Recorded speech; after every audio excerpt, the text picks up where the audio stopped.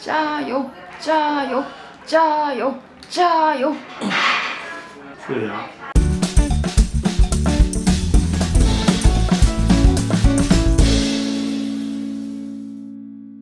啊，今天我们来的这是小锅烧烤，这应该在锦州也算很厉害的那种，至少人家有两栋楼，这一栋楼白天开，那一栋楼是晚上开，可见这东西还是晚上吃的比较多。然后来看。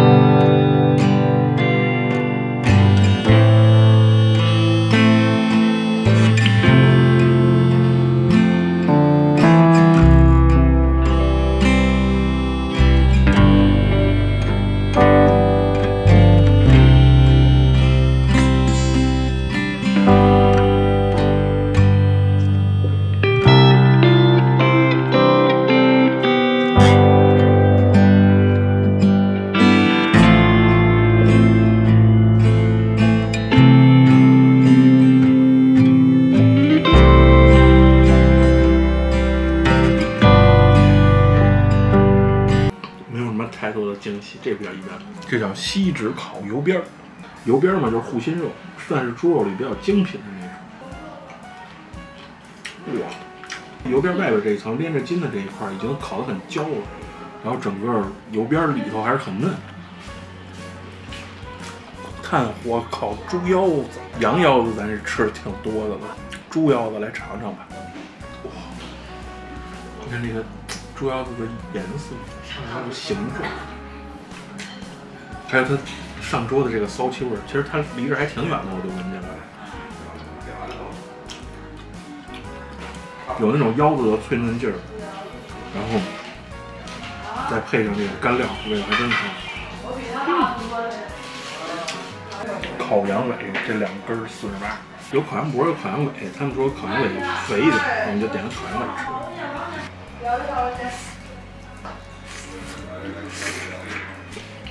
它这个羊尾巴是先煮过的，煮完以后再烤熟，那种焦香味儿很少，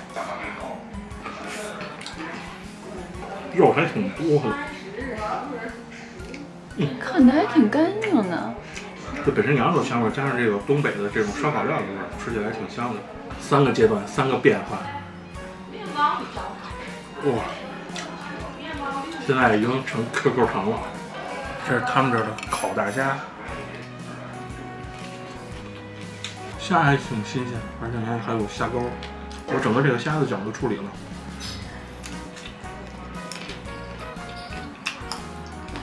非常香，而且没有虾线，就因为很新鲜，所以这个虾吃的也很脆。哇，这好吃，这绝对是可以连皮吃的。特色烤鸡胗，这是两个鸡胗子放在一起。而且烤的很干的那种，我这看着有点流口水，但是它这腔子好细。加油，加油，加油，加油！好了，挑战失败了。哎呀，又干又汤。哎呀，什么都没放，就是盐，然后金的汤。我天！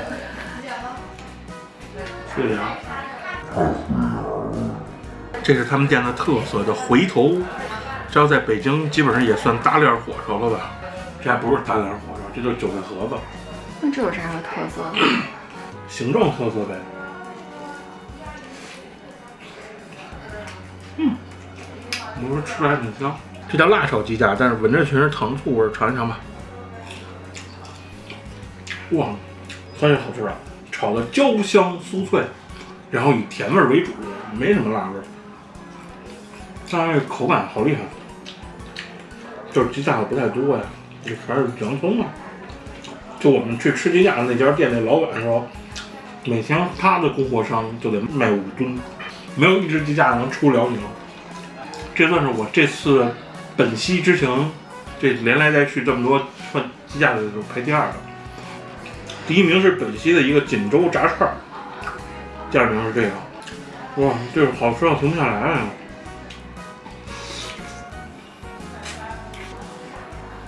我们已经吃完了啊，一共三百一十二。第一张两百六十一的时候，我觉得挺贵的。然后呢，第二张我们又加了几个菜以后，变成三百一十二，我就觉得性价比还可以。但是实话实说，它这量都比较小，就是特别是这串儿，这每一串都一点儿，可能这就是人家的特色吧。我们来说说哪些值得推荐啊？就烤羊尾四十八一盘儿，这确实好吃。然后烤牛筋两块五一串儿，虽然量比较小，这个东西还真的好吃。不同的温度的时候，它的口感是有变化的。炭烤猪脑花三十二，我是觉得它接近九村的那个水平，虽然还没有到九村那样，但是已经算是我们最近吃过的烤脑花里比较好的那种了。锡纸油边三十八一份，这也好吃，外边壳很酥脆，然后里边肉很香。鸡爪子比较一般，生烤这个吧，跟熟的那个不一样。我们吃鸡爪子的印象中都是那种非常软糯的鸡爪子，但是这个鸡皮跟爪子里的那根筋都还挺有嚼劲儿。然后最后加的这个辣炒鸡架确实不错，然后盐焗鸡胗就除了比较硬，整体来说这顿饭吃的还是挺好的。量比较小嘛，所以你点的样比较多，所以我们就能够多吃几点，我觉得这还挺好的。好，感谢您收看这一期太阳饭店，下一期就是北京的节目啊，